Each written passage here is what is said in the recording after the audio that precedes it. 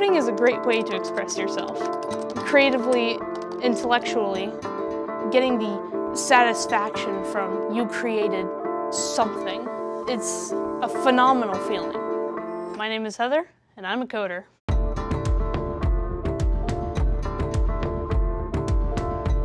Give him the axe. My family has always been a gaming family. I keep thinking I'm the wizard. We're a very competitive family. We'll fight each other until we're kicked out of the arcade. Entering high school, I was sort of disillusioned. You know, I never really found a place where I clicked. I was always this misshapen puzzle piece.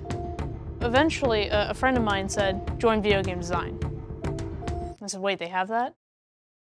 I joined the class, and talking to the people, I realized these are my people. You're learning JavaScript, right? Yeah, I'm learning JavaScript right now. Do you know now. any C Sharp?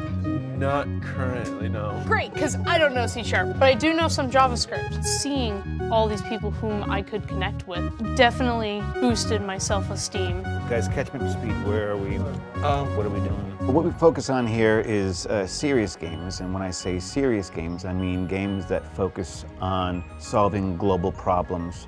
I use IBM Watson in my classroom because it's a large part of the cognitive game design program that we're developing. So it's a combination of makerspace, computer science, and game design. With those combinations, Heather is coming up with her own projects We're adding horns. don't What is- stop me. The math game originally was a concept for teaching history. I've always wanted to use these cool characters from history and get them interacting to teach people about how these people would act. I thought, hey, what if I put a UI system in here in which they would use math to solve their problems?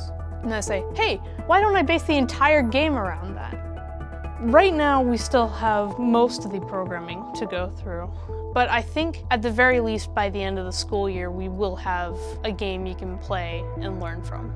Let me tell you something, when she first came in here, it was a different person, and I see transformation take place.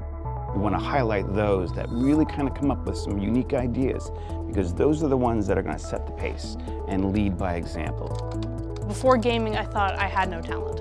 You know, I started walking straighter, I started talking bigger, I started feeling better about myself, better about just the world in general. After high school, besides college, of course, I want to be an independent developer for games. I want to make the next generation of games not only just entertaining, but inspirational.